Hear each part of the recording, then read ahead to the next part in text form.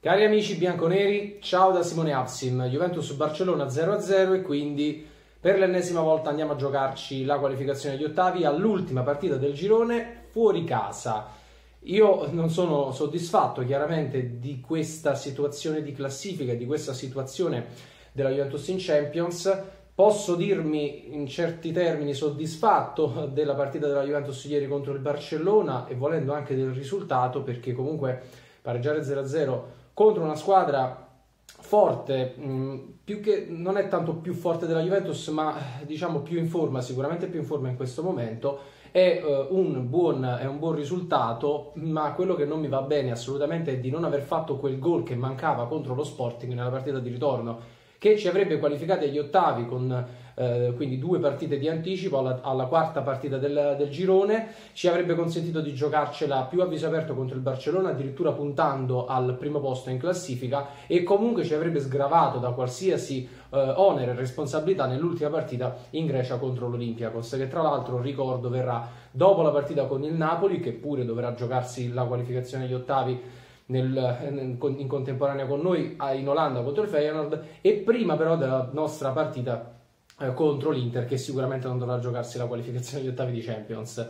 Quindi è una situazione che non va bene. Eh, ieri, eh, analizzando la partita, ho visto comunque una Juventus più che buona nel primo tempo,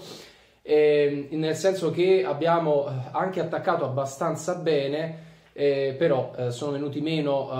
sono, venuti meno, alcuni giocatori nella fase finale, nella fase decisiva. Io quello che ancora contesto ad Allegri è il fatto di ostinarsi a far terminare l'azione offensiva tra i piedi di Quadrado. Quadrado è sempre quello che riceve, per ultimo c'è lo scarico di Dybala, il passaggio di Pjanic, il cambio di gioco di Alex Sandro, tutti quanti su di lui e poi è lui che deve la, eh, prendere la decisione più importante e mh, passare il pallone decisivo per la finalizzazione. Questo eh, non, non mi sta bene perché Quadrado è quello che sbaglia più palloni in quella fase lì, sbaglia sistematicamente la scelta Infatti ieri o crossava frettolosamente dalla linea laterale sulla tre quarti e ovviamente i cross erano sbagliati, oppure quando invece si trovava più a ridosso dell'area di rigore faceva il passaggio sbagliato e comunque non arrivavamo a concludere degnamente l'azione. E quindi tra i peggiori metto Quadrado, tra i peggiori metto Chedira che è praticamente stato in confusione totale, eh, è stato troppo alto anche ieri, non ha dato una grossa mano a difendere, anzi,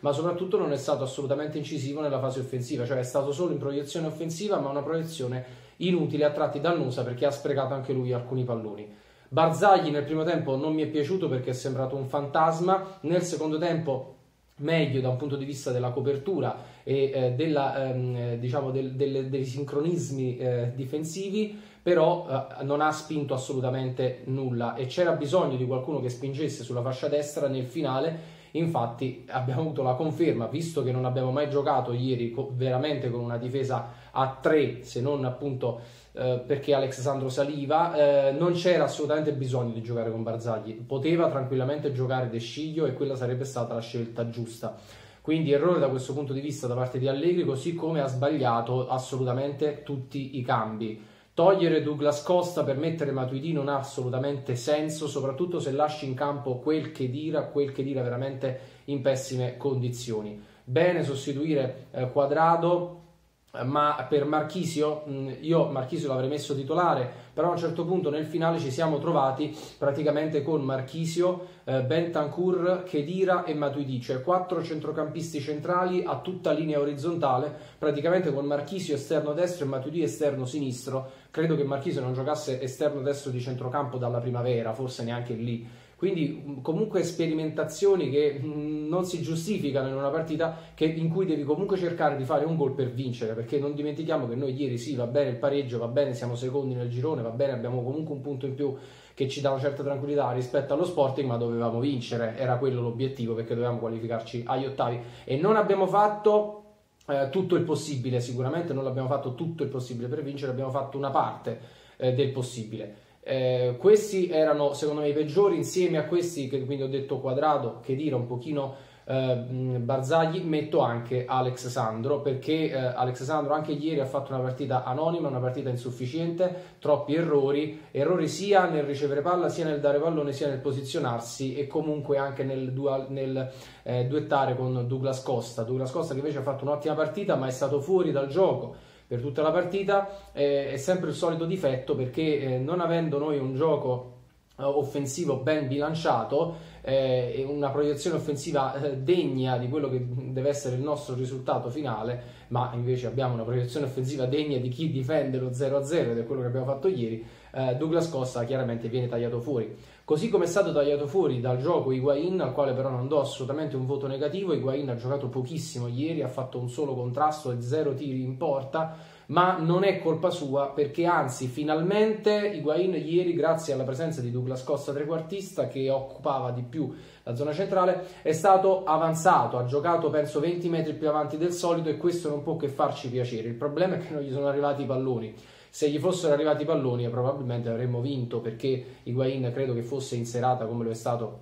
eh, in tutte queste ultime partite eh, Passiamo ai migliori, il migliore in campo senza alcun dubbio è Benatia. Benatia ieri ha fatto il 97% di precisione nei passaggi, 97% di precisione nei passaggi. E non solo questo, ha praticamente vinto tutti i contrasti, ha fatto un sacco di intercetti. È stata veramente una partita straordinaria di Medi Benatia, a conferma di quello che dicevo, che bisognava utilizzarlo in queste partite, bisognava utilizzarlo anche a Genova perché sta benissimo. E comunque è eh, uno dei nostri due migliori difensori sicuramente come stato di forma in questo momento. L'altro forse è Chiellini però come rendimento io mi affiderei comunque di più a Rugani che ieri non ha fatto un'ottima partita forse ha subito un pochino la pressione ma comunque ha giocato bene non gli si può dire praticamente nulla. Ha sbagliato l'impostazione ma non è lui che deve impostare da dietro. Scusate e eh, altro ottimo, ottima prestazione è quella di Dybala. Dybala è stato molto eh, grintoso, molto determinato, eh, molto volenteroso, voleva sicuramente vincere, ha meritato di vincere e di fare gol, soprattutto nel finale quando ha impegnato Ter Stegen eh, in quel modo molto eh, ci è rimasto un po' l'amaro perché lì poteva veramente entrare il pallone. Non so se sarebbe stato meritato che, che vincessimo in quel modo, ma Dybala se l'è meritato a conferma del fatto a dispetto di, chi, di, quello che dicono alcuni, a conferma del fatto che Dybala nelle partite importanti si esalta perché vuole dimostrare la sua forza, la sua qualità. In, e qualità e forza sicuramente indiscutibili. Ripeto, poi per i cambi veramente non ci siamo perché a quel punto eh, bisognava inserire, bisognava lasciare Douglas Costa, potevi anche farne solo due di cambi, mettere Marchisio Sima al posto di Chedira, lasciare assolutamente Pjanic in campo perché comunque il cambio con Bentancur è servito quasi a nulla e togliere Barzagli per mettere De Sciglio per dare un pochino di spinta in più sulla, sulla destra. Quindi io avrei praticamente messo solo De Sciglio per Barzagli e Marchisio per Chedira stop, non avrei fatto altri cambi e comunque non abbiamo veramente provato eh, a vincere questa partita. Eh, questa Juventus secondo me paga le pessime prestazioni delle partite recenti perché eh, si vede chiaramente che in attacco siamo andati ieri ad improvvisare. C'era un'improvvisazione offensiva eh, nel senso che eh, quando ci siamo trovati in, a, a, poter attaccare non sapevamo esattamente che cosa fare, ci sentiamo un po' spaesati perché non siamo abituati a trovarci ad attaccare in quel modo. Ieri il Barcellona ci ha lasciato più spazi perché comunque non è una squadra difensivista, non è una squadra che si chiude dietro, che si stringe dietro come facciamo noi o come fanno tante squadre di Serie A. È una squadra che resta comunque alta e larga. E quindi ci ha permesso di inserirci, ma ci siamo, ripeto, trovati spaesati quando abbiamo avuto l'opportunità di attaccare. Non, e non c'era un vero e proprio sistema di gioco, non c'era un vero e proprio sistema per arrivare a tirare in porta, infatti abbiamo tirato praticamente mai. Quindi eh, questa Juventus deve crescere su questo e sinceramente non credo che crescerà perché a sentire le parole di Massimiliano Allegri dopo la partita credo che lui sia convinto che la Juventus stia andando molto meglio di quanto non pensiamo noi, di quanto non pensi io, e infatti ha detto che stiamo giocando praticamente sempre bene anche contro la Sampdoria, il problema è sempre che subiamo troppo, subiamo troppo, quindi in ambiente interno lo spogliatoio tra senatori e, e, allenatore c'è soddisfazione per la partita di ieri soprattutto per non aver preso gol e a me questa cosa non può assolutamente lasciare soddisfatto. Non mi può assolutamente lasciare, lasciare soddisfatto questa cosa perché non mi interessa non prendere gol mi interessa vincere. Allora se prendere se, se per vincere dobbiamo prendere due gol prendiamoli però andiamo ad attaccare e vinciamo 3-4 2 perché quello che conta in questo, in questo caso sono i tre punti